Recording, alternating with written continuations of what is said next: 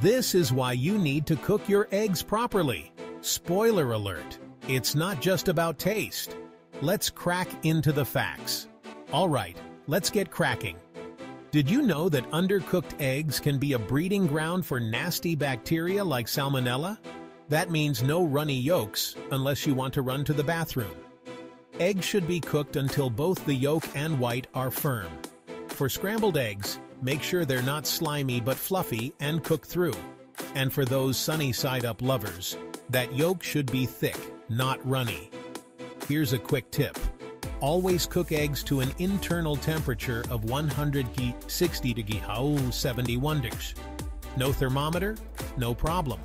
Just make sure there's no visible liquid egg. So next time you're whipping up an omelet or frying an egg, remember, better safe than sorry. Cook it right and you'll be cracking with confidence. Stay safe and happy cooking, egg spurts.